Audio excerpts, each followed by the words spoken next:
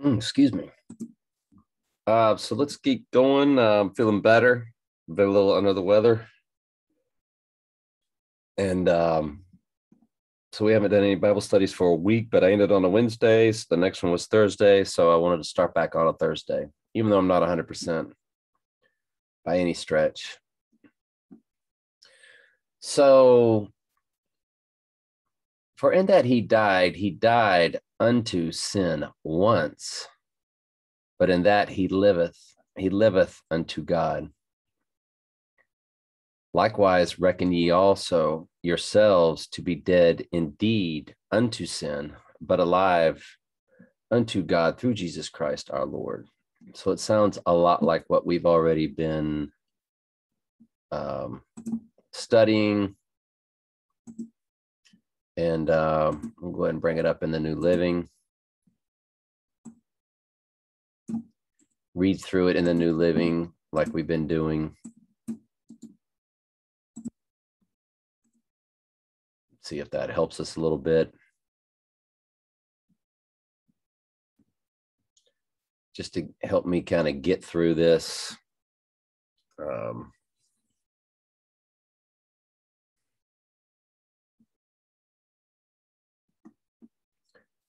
When he died, he died once to break the power of sin. But now that he lives, he lives for the glory of God. So you also should consider yourselves to be dead to the power of sin and alive to God through Jesus Christ. Do not let sin control the way you live. Do not give in to sinful desires. Do not let any part of your body become an instrument of evil to serve sin. Instead, give yourselves completely to God. For you were dead, but now you have new life. So use your whole body as an instrument to do what is right for the glory of God. Sin is no longer your master, for you no longer live under the requirements of the law. Instead, you live under the freedom of God's grace again, just make sure you go through. You would want to start this Roman series from the beginning on my playlist on my channel because uh, I've been stopping and teaching to what all of this means. You read this and you think that there's free will and the way it's written many times it's written in a way that you have these choices and you're told these things to do. But then we go to the Bible verses that trump those that really actually tell you that it's God that does it all in you and through you. You have no free will ability to fix yourself.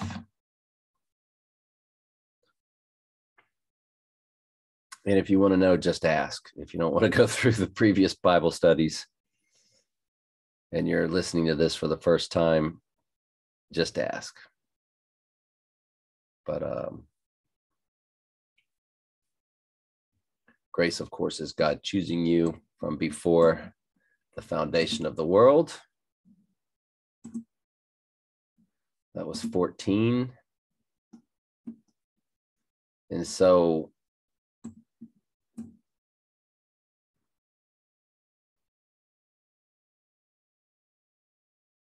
being under grace is something they misuse in these false teaching pulpits.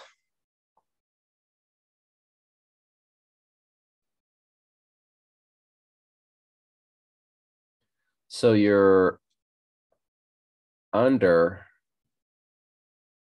God's love for you.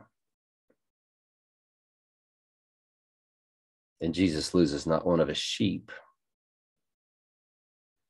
And it's very clear that the Lord comes into your life through a spiritual baptism and then takes you through the fiery trials, what they call the baptism by fire. Because John the Baptist said, One will come after me, baptizing with the Holy Spirit and fire. And we've shown you the fiery trials Bible verse fiery trials Bible verse? I don't know why I can never remember it. Beloved, think it not strange concerning the fiery trial, which is to try you as some strange thing has happened unto you. And that's when the Holy Spirit comes into your life, like it came into Saul's life, who later became Paul, when Saul was killing Christians as a Pharisee. And the Lord called him on the road to Damascus and put him through the fiery trials. And the fiery trials take place all the way through your death. You're always getting called out of the world a little more and more each time. And um, yeah. So, anyway, that's Christ working in you.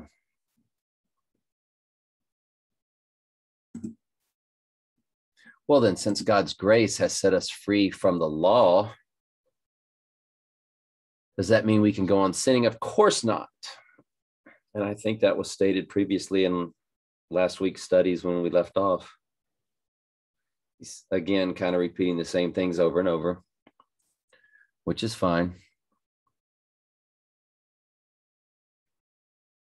Does that mean we can go on sinning? Of course not. Don't you realize that you become the slave to whatever you choose to obey?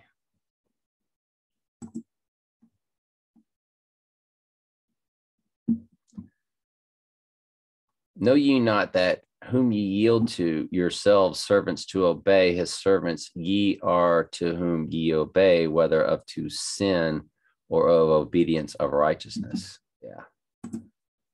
That word choose is thrown in the New Living Translation because you're not choosing anything. Sheep are born lost, goats are born goats sheep get the call at some point in their life.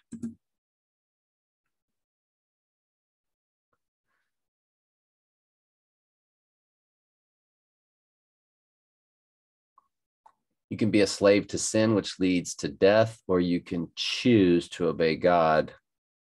Again, the word choose is added in verse 16. We just read verse 16. There's no choose in there. Thank God once you were slaves of sin, but now you wholeheartedly obey his teaching, we have given you.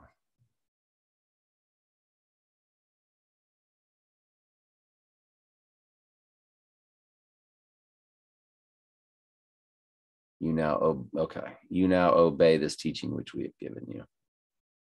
Now you are free from your slavery to sin and you have become slaves to a righteous living. You're a slave either way. There's no doubt about it. There is no freedom in this life, there's no choice in this life. Goats are born goats, sheep are born lost. Because of the weakness of your human nature, I am using the illustration of slavery to help you understand all of this. Previously, you let yourselves be a slave to impurity and lawlessness, which led ever deeper into sin. Now you must give yourselves to be slaves to righteous living so that you will become holy.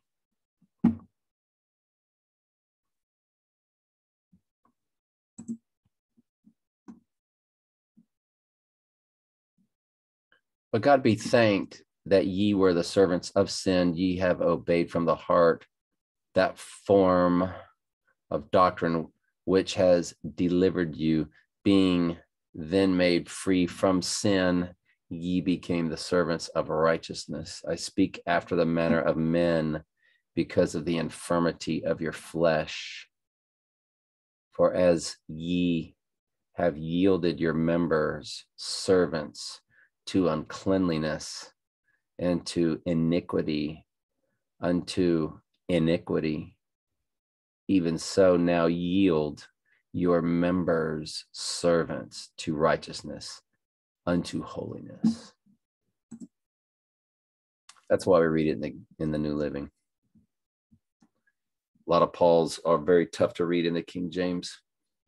And the stone was brought and laid upon the mouth of the den, and the king sealed it with his own signet and with the signet of his lords, that the purpose might be uh, that the purpose might not be changed concerning Daniel. So he's thrown into the den of lions. Then the king went to his palace and passed the night fasting. Neither were instruments of mu- music brought before him, and his sleep went from him. Then the king arose very early in the morning and went in haste unto the den of lions. And when he came to the den, he cried with a lamentable voice unto Daniel. And the king spake and said to Daniel, O Daniel, servant of the living God, is thy God, whom thou servest continually, able to deliver you from the lions? Then said Daniel unto the king, O king, live forever. My God hath sent his angel and shut the lions' mouths, that they have not hurt me for as much as before him. Innocent, innocent, innocency was found in me, and also before thee, O king, have I done no hurt. Then was the king exceedingly glad for him and commanded that they should take up Daniel out of the den. So Daniel was taken up out of the den, and no manner of hurt was found upon him because he believed in his God. Love y'all very much. I'll try to get better and better each day. Sorry.